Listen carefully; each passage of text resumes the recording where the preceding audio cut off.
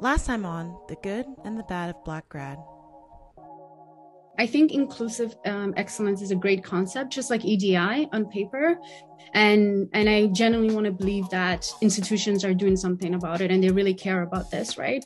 But it involves more than just having, like I said, people um, at the table, right? Like just to say that yeah, we we have this number of black students or black faculty, whatever may be the case but you need to look at how you're including these people because many black faculty end up leaving institutions right but you bring people into the space but then how are they doing in that space right because when you're experiencing lots of racism when your voices are, are not being heard when your ways of knowing and um, it, it's not being appreciated then there's no point of just adding more people just to say we have more people so it's more than it's more than it's more than numbers even though our numbers are really low but it is way more than uh, our, numbers. And I think institutions need to do a better job to ensuring that Black, Indigenous, and other people of color are coming to space spaces that are uh, spaces that are healthy uh, spaces where they are valued and where they can do their work, go on do their work. Because we spend a lot of time trying to fight white supremacy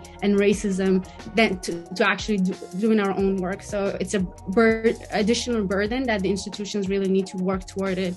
For me, it's coming across as just a buzzword rather than a tangible policy that they're trying to see uh, come to fruition. Please join us for the series finale on November 2nd.